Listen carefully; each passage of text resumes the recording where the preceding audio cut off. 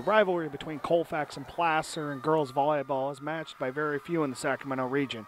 So, with the intensity of the crowds on both sides and the players ready to go, the showdown was set at Earl Crabb Gym on Thursday night.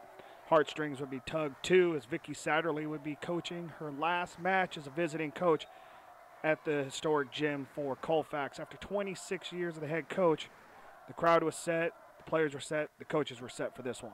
Oh, it's great. I love this. This is this is what we look forward to. This is this one and Bear River, but we're looking forward to this all week, so it's big. Garrett, who led Placer with 14 kills on Thursday night, said the team was pumped up even in pregame warm-ups thanks to the crowd and the rivalry. Placer got off to an early 7-2 lead in the first set en route to a 25-13 victory to take a 1-0 lead over Colfax in the first. On the final point of the first set, here's Capri Pele with the nice kill for Placer as Lady Hillmen take an early 1 0 lead. Early in the second set, both teams battled back and forth. Placer pulled away for a 25 20 win to take a decisive 2 0 lead against Colfax. The Lady Falcons wouldn't go down without a fight midway through the third.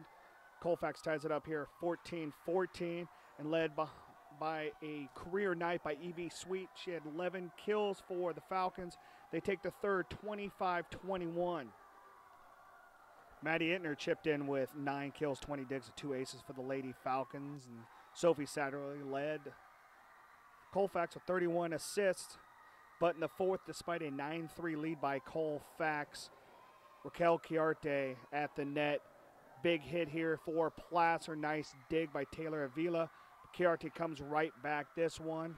Colfax couldn't handle as Placer would reel off the fourth set 25 16 here and take the 3 1 victory over Colfax. Placer improves to 3 0 in PVL action. Colfax is their first loss. They fall to 2 1. Great matchup by both teams. How much did your emotions play into the start of this, the third set, and especially that, that comeback in the fourth? Uh, it was a big part because it's Colfax and like class is like a big, big rivalry and like it just gets you pumped, it gets you energized after every point.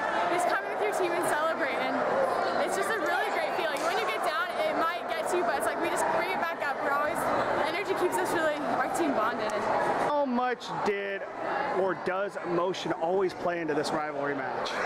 It's it is huge in this match. I mean, I think you saw it firsthand here tonight, where you know we were we were on fire and really was crazy in those first two games. And I think they turned it on in the third game, and their emotion was up, and we were down, and it's it changed that game. So or it changed, yeah, the outcome of that game. So I think the fact that we could pull it back together in the fourth is great.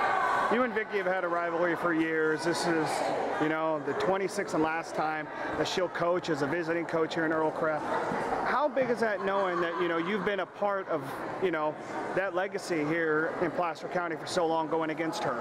Well, you know, when I came up here, I that was one of the first things I found out about was, you know, Vicky at Colfax, and they're this great, this great program, and it's been like that for the last eight years. I mean, even when she graduates five seniors or something, and she always says, "Well, we're kind of down."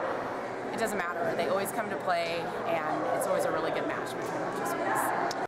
Off the heels of this rivalry victory over Colfax, Lady Hillmen 3 0 will play 3 0 Bear River on Tuesday. And in Auburn, reporting for the Auburn Journal, I'm Trevor Horn.